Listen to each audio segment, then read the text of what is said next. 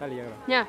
Ok, adelante. Mira, el momento que fue el estábamos justamente en esta parte, eh, hicimos el recorrido, automáticamente se cayeron bardas de adobe. Al momento, con cinco compañeras, empezamos a convocar eh, la situación de cómo estaba el correr, ¿no? ¿Qué, qué había pasado, si no había heridos, ni nada. Posteriormente, ya más noche, nos unimos a unas cuadrillas donde empiezan a buscar qué había pasado, y se empezaron a hacer limpieza, retiro de lo que ya se había colapsado.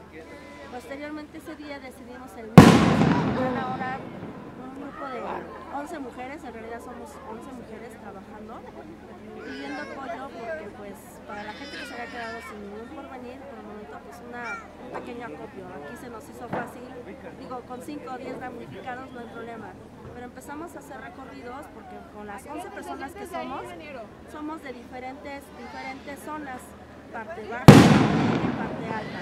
Yo subo a mi casa, que es parte alta, y empiezo a ver la gravedad que hay. Hay casas colapsadas, casas totalmente término final, ¿no? O sea, entonces nos dimos a la tarea de empezar a hacer un centro de acopio.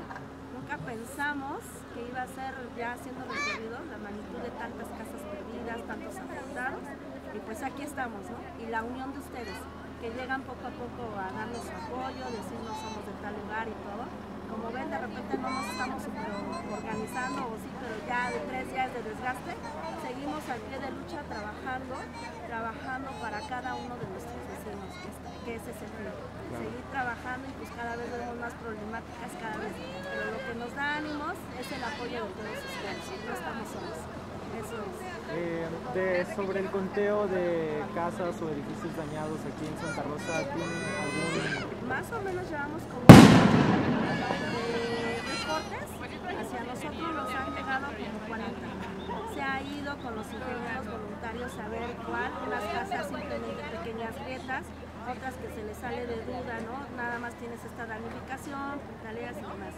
Y pero, casas por colapsar, eh, tenemos un reporte de 20, de 20, que ya totalmente inhabilitadas. Las mismas personas a veces se les pide más el apoyo de lo que son láminas, líneas, lonas. ¿Por qué? Porque la gente sabe que su casa es por colapsar, pero tuvieron que sacar sus cosas, están a la intemperie. Necesitan lonas por las lluvias, necesitan polines porque van a hacer provisionalmente una casa. Que no pueden alejarse mientras están lo poco que les quedó.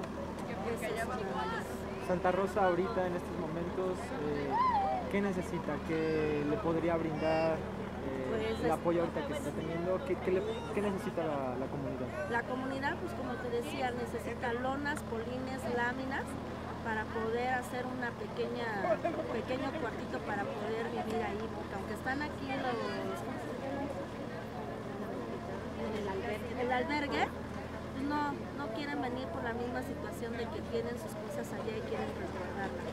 Entonces ellos están durmiendo este, a veces a la intemperie, encontramos una familia que dormía a la intemperie y pues lo único que se le pudo proporcionar fueron unas lonas que de repente llegan y allá mismo son- ellos este, hacen su casa de campaña o se van a, a dormir con vecinos y sobre todo los niños, ¿no? Los llevan a dormir con vecinos, con un familiar y nuevamente al otro día estar afuera por que se vayan a robar que